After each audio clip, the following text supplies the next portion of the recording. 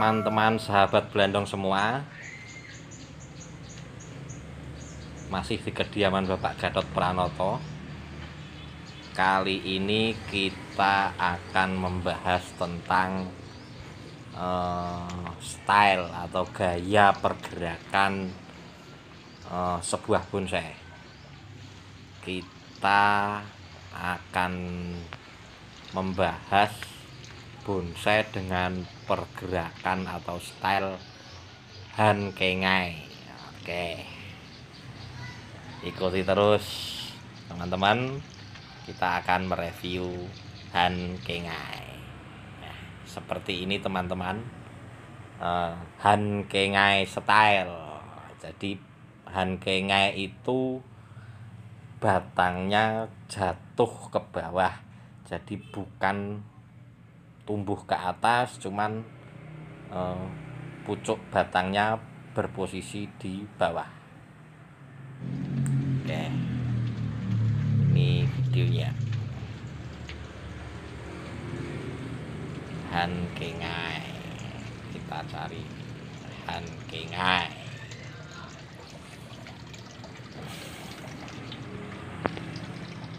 Nah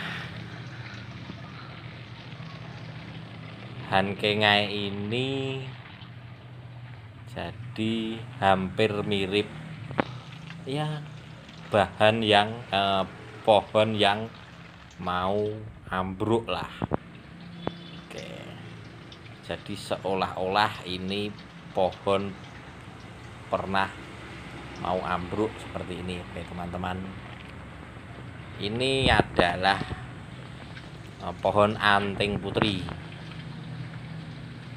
ini nanti saat musim kembang nanti dia akan berbunga bunganya akan keluar dan akan menambah keindahannya.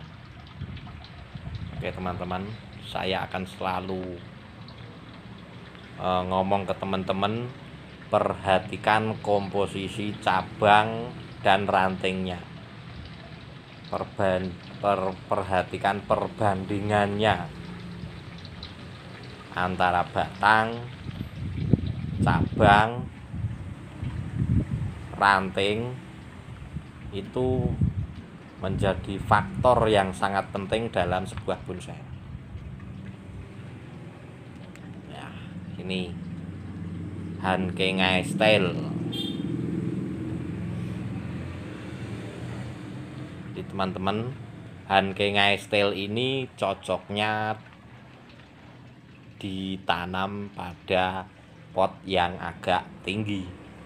Karena pergerakannya jatuh ke bawah seperti ini. Jadi kalau ditanam di pot yang tipis eh, jatuhnya agak kurang indah. Tidak bisa melebihi dari akarnya. Itu kalau potnya tipis. Nah seperti ini